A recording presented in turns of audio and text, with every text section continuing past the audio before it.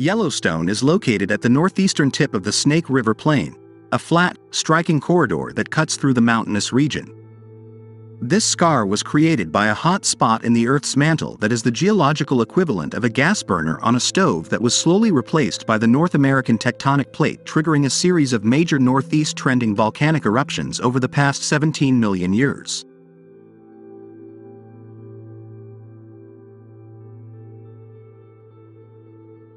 The most recent supereruption occurred 640,000 years ago, spewing enough lava to build several Mount Rainiers. The explosion emptied a huge underground chamber, which then collapsed and caused the landscape to plummet into an oval-shaped caldera, the size of Rhode Island and surrounded by faults.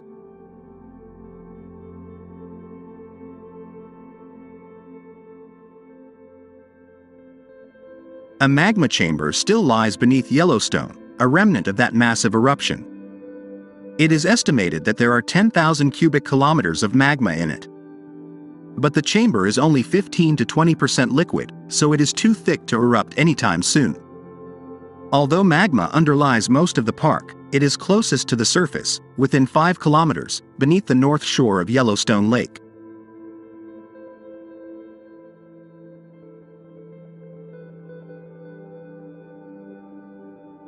With magma temperatures above 800 degrees Celsius, the heat flowing through the ground is very high, namely 100 times the average of the Earth's surface.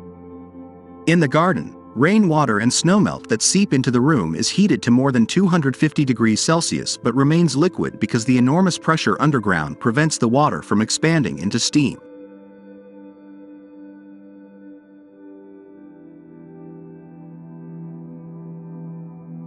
The hot fluid, mixed with carbon dioxide and foul-smelling hydrogen sulfide gas, gushes back through cracks in the surrounding rock dissolving sodium, silica, chloride, arsenic and other minerals and eventually reaches the surface and flows into thousands of hot springs and mud pots. The bubbling that makes Yellowstone a geological wonder.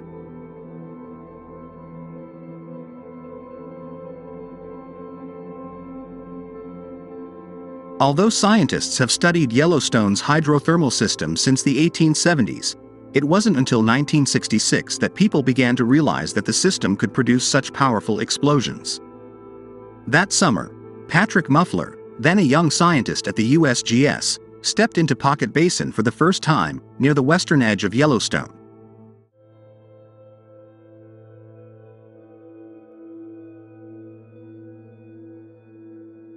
This vast, drooping grassland is filled with bubbling hot springs and fills the air with the slight smell of hydrochloric acid. This basin is surrounded on three sides by low ridges dotted with several spindly trees. As Muffler and his supervisor, Donald White, explored the landscape, White quickly recognized something familiar.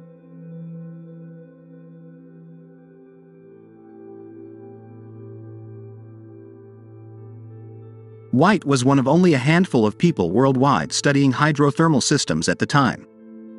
He visits the small town of Lake City, California, five nights after a strange natural disaster occurred there. An inconspicuous collection of hot springs, which feed the lush, marshy elephant grasslands, have exploded, throwing 300,000 tons of mud and rock into the surrounding fields.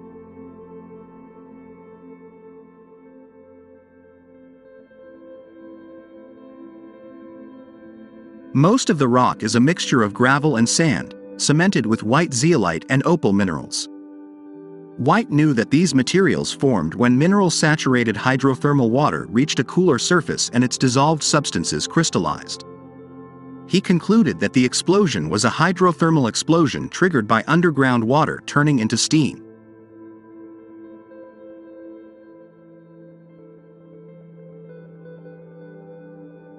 As White and Muffler walked up the ridge surrounding Pocket Basin, their boots crunched on similar rocks. White theorizes that this basin is a hydrothermal explosion crater that is much larger than the crater in Lake City, which is roughly the size of Yankee Stadium. A ridge is a pile of debris thrown out of a hole.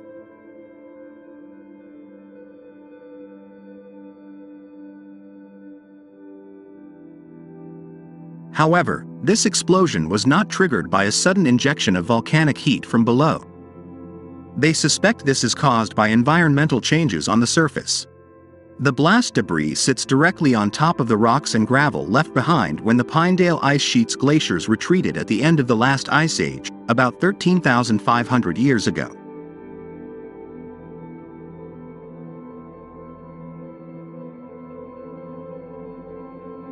Even if there were glaciers, hot springs would melt the ice above them and create ice-dammed lakes.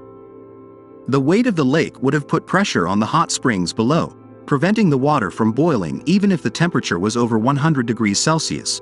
Muffler and White speculate that as the glacier retreated, the ice dam broke and the lake's water level plummeted.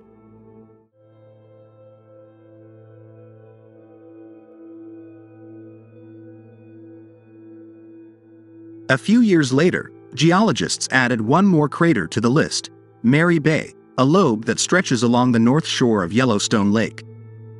At 2.6 kilometers wide, it remains the largest hydrothermal explosion crater ever discovered on Earth, forming around the same time as Pocket Basin.